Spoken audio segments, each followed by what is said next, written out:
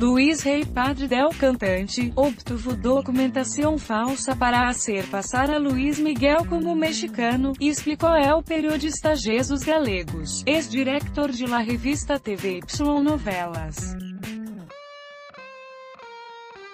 Luiz Rei Creola confusão com el desejo de que Luiz Miguel fuera mexicano lo registrou em Veracruz a sabendas que tinha el passaporte y el acta de nascimento americano. La confusão viene porque lo bautiza em México a los dos meses de edad, después de que ligan de Puerto Rico, isso foi em junho de 1970 y el padrino foi Guilherme Nunes de Cáceres, que era el productor de Los Polivoces.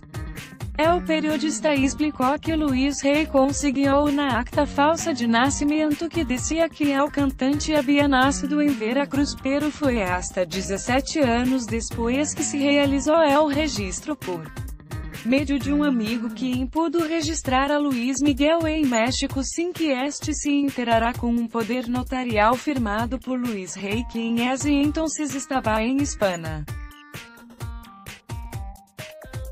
Assim la confusão de estava pior peruano assim Luiz Miguel não podia viajar com passaporte mexicano porque no se lo davam apesar de ter el acta porque aparecia com duas nacionalidades, la espanhola y la puerto-ricana.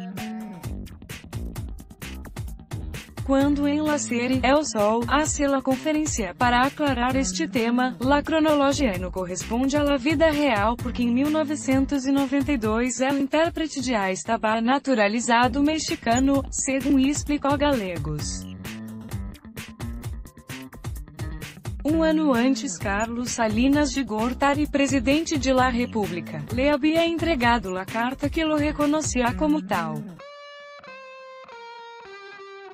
É o lugar de nascimento do intérprete de Ahora Tipo e Desmarchar, era um secreto tem bem guardado que solo la família sabia. La verdade por isso foi uma surpresa para los demais. El descobrirlo, lo que volvió el eto um escândalo. Precalifica tu crédito Prime, desde 100 milhares de dólares hasta 5 dólares MDP te damos resposta em 48 horas. Y puedes disponer del dinheiro em menos de 10 www.premo.mx